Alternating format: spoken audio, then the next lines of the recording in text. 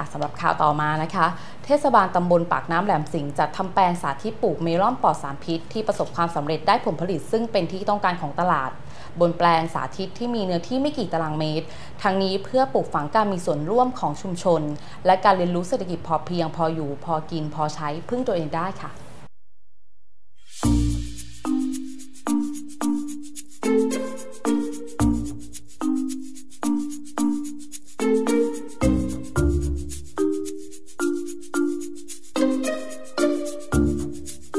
ราะด้วยสีสันที่สดใสกลิ่นหอมชวนรับประทาน อีกทั้งยังมีรสชาติดีหวานฉ่ำจึงทำให้เมลอนเป็นผลไม้ที่โดนใจคนส่วนใหญ่ และที่นี่จึงเป็นอีกหนึ่งสถานที่ในแปลงสาธิต ที่ทำให้เห็นว่าการทำการเกษตรสามารถประสบความสำเร็จได้ เพียงแค่ให้ความสำคัญและใส่ใจในทุกรายละเอียด โรงเรือนแบบปิดขนาดเล็กที่สร้างขึ้นมาเพื่อเป็นแปลงสาธิต ในการทำเกษตรอินทรีย์ ที่ปลอดภัยจากสารเคมีร้อยเปอร์เซ็นต์ตั้งอยู่บริเวณด้านหน้าศูนย์พัฒนาเด็กเล็กเทศบาลตำบลปากน้ำแหลมสิงห์หลังจากที่โรงเรือนแห่งนี้ได้เคยปลูกผักบุ้งและประสบความสำเร็จ สามารถยืนยันในเรื่องของการทำเกษตรปลอดภัยให้กับประชาชนในพื้นที่ได้เห็นอย่างเป็นรูปธรรม และในครั้งนี้ได้เปลี่ยนการทดลองมาทำการปลูกเมลอนดำเนินการจากจุดเริ่มต้นของโครงการ ในการทำการเกษตรตามแนวพระราชดำริ ของพระบาทสมเด็จพระปรมินทรมหาภูมิพลอดุลยเดชตามแนวทางเศรษฐกิจพอเพียง พร้อมปลูกฝังความรู้ต่างๆ สอดแทรกให้เด็กประถมวัยได้เรียนรู้การทำเกษตรพอเพียง พออยู่พอกิน พอใช้พึ่งพาตนเองได้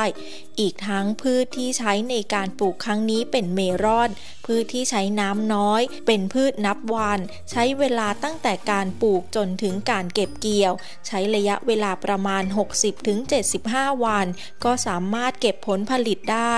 ซึ่งที่นี่เป็นตัวอย่างการทำเกษตรให้กับชุมชนได้เห็นถึงคุณค่าของพื้นที่ และความพอเพียง ในการที่จะพัฒนาต่อยอดให้กับชุมชน ครอบครัวที่จะสามารถสร้างรายได้เสริมให้กับครอบครัวได้ การทำศูนย์เรียนรู้เนี่ยนะเราไม่ได้เจาะจงอยู่ที่ว่าจะเป็นผัก หรือเป็นผลไม้ หรือเป็นอะไรก็แล้วแต่นะในส่วนต่างๆเหล่านั้นเราแต่เราก็จะศึกษาในสิ่งที่เป็นไปได้นะครับตามแนวเศรษฐกิจพอเพียงครับกับว่าหนึ่งที่เราปลูกผักบุ้งนะครับต้องยอมรับว่าค่อนข้างที่จะประสบความสำเร็จผักบุ้งไร้สาร เมื่อตรงนั้นไร้สำเร็จแล้วเนี่ยให้มีความคิดว่าจันทบุรีเริ่มมีการปลูกเมลอนนะค่อนข้างเยอะ หลายสายพันธุ์ เราน่าจะทดลองปลูกเมลอนดูบ้าง ครั้งนี้เป็นครั้งแรกนะครับกับการเปลี่ยนจากผักบุ้งมาเป็นเมลอนนะครับทั้งนี้ทั้งนั้นโดยวัตถุประสงค์หลักนั้นต้องการที่จะเป็นศูนย์เรียนรู้ให้กับพี่น้องประชาชนนะครับ โดยเฉพาะแปลงเมลอนของเราเนี่ยของศูนย์เด็กเล็ก เทศบาลตำบลปากน้ำแหลมสิงห์เนี่ยทั้งนี้นายวีระสุขจิต นายกเทศมนตรีตำบลปากน้ำแหลมสิงห์ได้กล่าวถึงความตั้งใจและการมีส่วนร่วมของชุมชน โดยเฉพาะที่นี่จะเป็นอีกหนึ่งสถานที่ที่ให้กับเด็กๆ ในระดับประถมวัยได้เข้ามาเรียนรู้ในพื้นที่จริง เพราะด้วยตั้งแต่การเริ่มปลูกเมลอน ซึ่งเป็นการปลูกแบบโรงเรือนปิด จะต้องมีความตั้งใจและใส่ใจตั้งแต่ตอนแรก เพราะการเพาะปลูกที่นี่คือการปลูกในกระถาง ที่จะต้องมีการบังคับต้นให้ขึ้นตรงในทิศทางที่กำหนด และเมื่อมีผลผลิตออกมาก็จะมีการผูกโยง เพื่อเป็นการช่วยอุ้มผล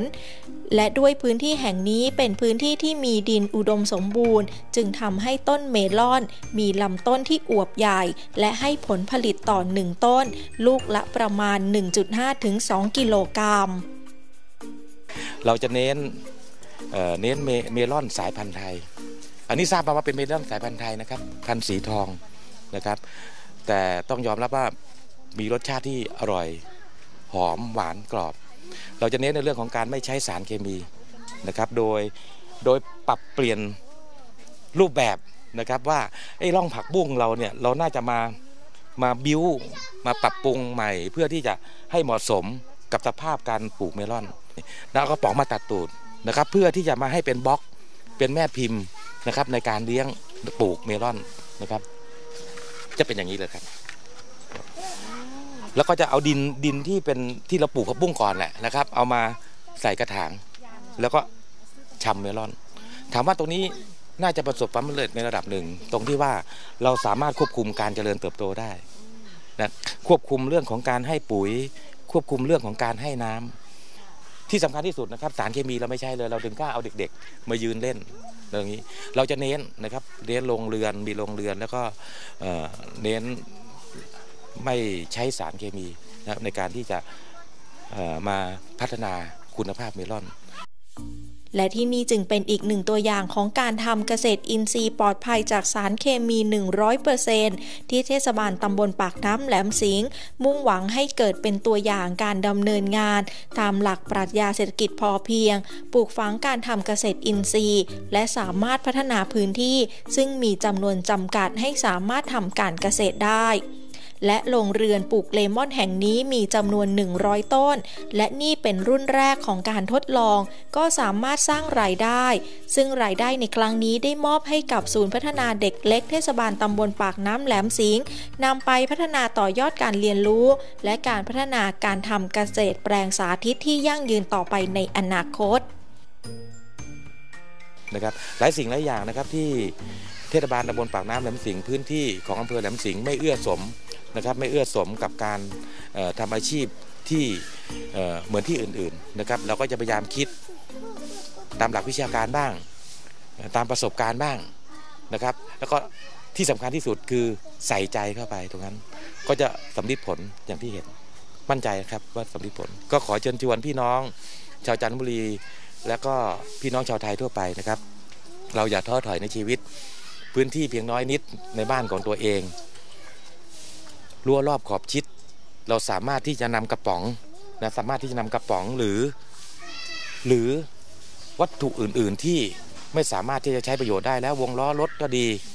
หรือกระทะกระมังรั่วๆต่างๆ ก็ดีเอาดินมาใส่แล้วเอาผักมาปลูก ตรงนี้แหละเป็นประโยชน์ต่อการใช้ชีวิตประจำวันทั้งสิ้นครับ ค่ะแล้วสำหรับใครนะคะที่อยากจะทราบเคล็ดลับดีๆนะคะสำหรับการปลูกเมลอนนะคะ ในครั้งนี้ก็สามารถติดต่อได้เลยนะคะ สอบถามเคล็ดลับกันได้ค่ะ จากทางด้านท่านนายกวีระนะคะ ของเทศบาลตำบลปากน้ำแหลมสิงห์ค่ะ